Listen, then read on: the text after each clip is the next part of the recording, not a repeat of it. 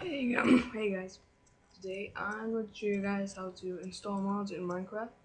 It's a really easy proce- procedure if you follow the instructions. So first of all, uh, open your Minecraft and force update. And just let it uh, load packages stuff because you need a clean Minecraft folder. So I'll be back when this is done and yeah, see you in a moment. Alright, now just let your Minecraft start up. Yeah, I'm using an outdated version, not really outdated, but I'll download a new one.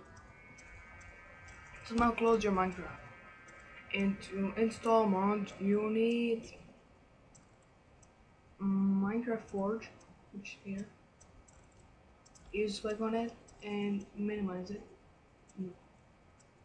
Uh, minimize it and then open your start. And then type percent data percent. And then you'll see this roaming folder just enter. And then you'll see dot minecraft folder. And you'll have these. Uh, you won't have these uh, when you first have minecraft. But the forge will install it for you. So now um, just click on the bin now you see this minecraft. Left click right click open with this is an uh, other language so i'll just tell you. Open with WinRAR archiver and then minimize this. No the most important thing about this is that you delete this folder.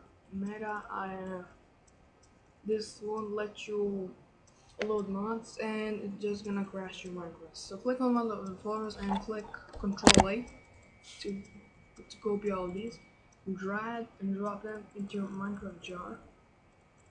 And then just click OK. And you close both of these. And when you're done, going to start up your Minecraft again. And you're not going to force update, but this will show you. This, but it will go 1, 2, 3, 4, 5, 6, 7, 8. This is not my first time using Forge, but that will happen. It says Minecraft uh, a Forge mod loader, and now if you have this open, go back, and you should have these folders, mods. Now, you should load the mod that you like, and you're going to find it. So like Dragon Block C, if you know what that is, it's just Dragon Ball Z mod if you want, I'm gonna leave it in the description. Now open it and just drag and drop into the mod folder and roll down and open. The Minecraft SV or any Minecraft and just wait for your Minecraft to load. And we'll have a black screen if you remove the meta. And and now it says four loaded it should pass it should say three mods loaded because this these are the mods that let you get all the mods. And this is Dragon Block C so yeah I hope you enjoyed this video. Leave a like if you did. I hope this helps you. And uh, yeah I'm gonna see you next time